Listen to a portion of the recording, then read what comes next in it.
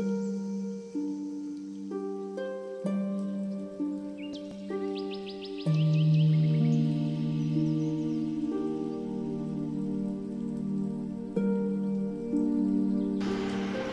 আমি বানাচ্ছি কফি মোহিত, তার জন্য আমি এখানে কিছু ফ্রেশ পুদিনা পাতা নিয়ে নিয়েছি, লেবু আইস কিউব এখানে একটু কফি লিকার এর সঙ্গে আমি চিনি মিশিয়ে রেখেছি আর স্প্রাইট এই দিয়ে আজকে আমি বানিয়ে নেব কফি মোহিত।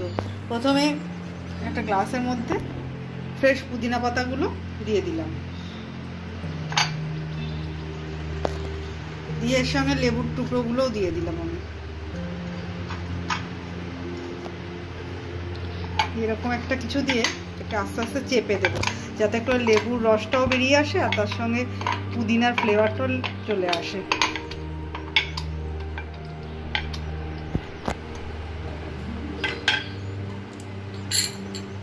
এবার এর মধ্যে প্রথমে বরফের টুকরোগুলো দিয়ে দেবো।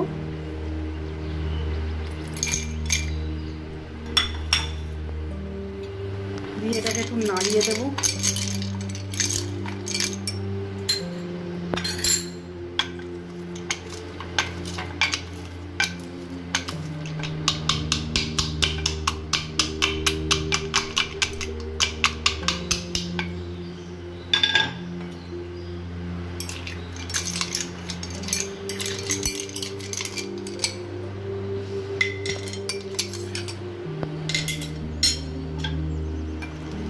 একটু ভালো করে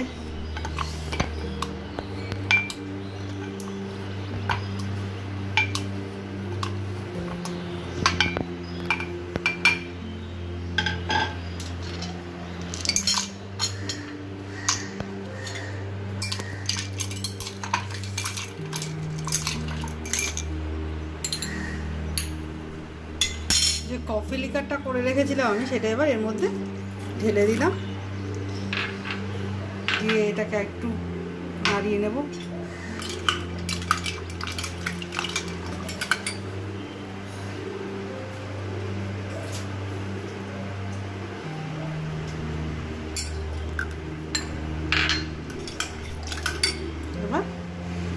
এর মধ্যে আমি স্প্রাইটটা অ্যাড করে ফাইনালি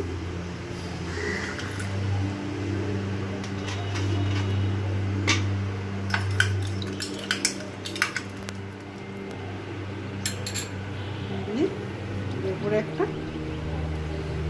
পুদিনা পাতা দিয়ে দিলাম।